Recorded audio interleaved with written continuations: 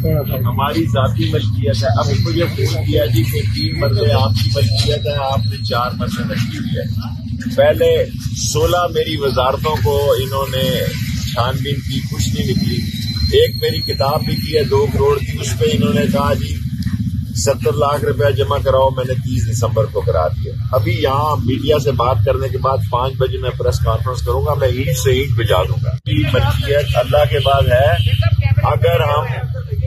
हमने कोई किसी की जायदाद पे कब्जा किया तो हम कौमी मुजरम है और हम सोलह दफ़ा वज़ीर रहे हमें नायल करार दे दिया जाए। रात ये एफसी को और रेंजर्स को बुलाया रेंजर्स ने इनकार किया एफसी ने इनकार किया। ये एफआईए को ले आया राना सनाउल्ला आसफ के नाम पे। अभी हाईकोर्ट जाएँगे, यहाँ मीडिया से बात करने के बाद पाँच बजे प्रेस कॉन्फ्रेंस।